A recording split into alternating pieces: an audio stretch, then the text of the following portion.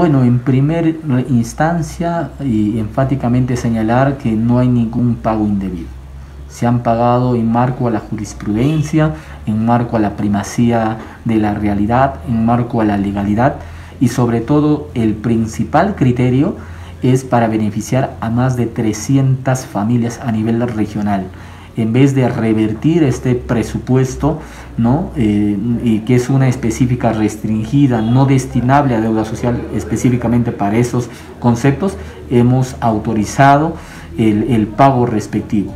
¿Por qué la cifra, digamos, bastante este, llamativa? Es porque este pago se había suspendido pues a partir del mes de mayo y mi persona ingresa el mes de junio como director y yo todavía suspendo este tema de que no se, no se realice ningún pago. Sin embargo, los trabajadores administrativos y también trabajadores particularmente han judicializado su proceso y hay pues alrededor de cuatro sentencias ya consentidas y cuatro sentencias que el mismo, el mismo Poder Judicial le ha dado la razón en marco a los decretos de urgencia, decretos supremos que existe, le ha dado la razón al trabajador administrativo para que pueda este, ser parte del beneficio de este recálculo. Entonces, lo mismo han presentado nuestros trabajadores de los institutos y que este, pues están eh, con una medida cautelar y también con una este, demanda admitida. Eh, esto lo hacemos y soy responsable de las acciones que se hagan dentro del marco de la transparencia a fin de evitar reversión de fondos y el otro detalle pues de multas que normalmente puedan acarrear. Recordemos el caso de salud.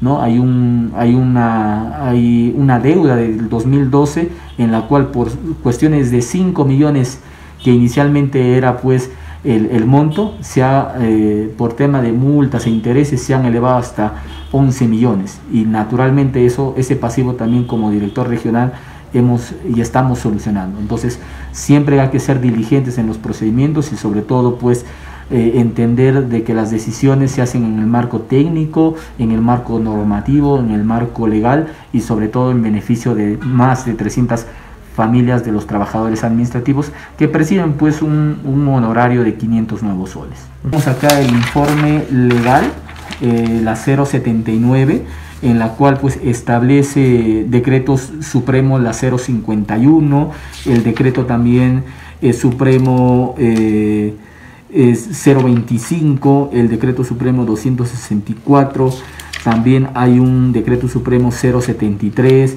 el decreto de urgencia 090, 96, 73, 97, 011. El, también hay una resolución directoral, la 1348 del 14 de mayo del 2019 eh, de la dirección regional, ¿no? de, mi antecesor que ha firmado para que se pueda brindar este tema de, de pagos. O sea, el argumento legal existe, además existe la jurisprudencia.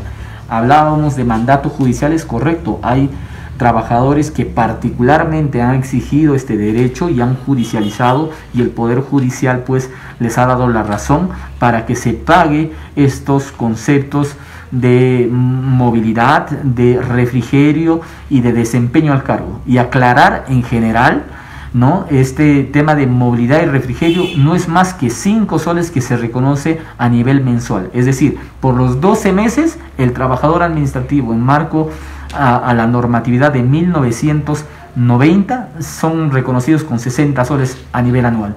El grueso de porcentaje se, se, refiere a un bono de cargo de desempeño. Entonces no tiene nada que ver.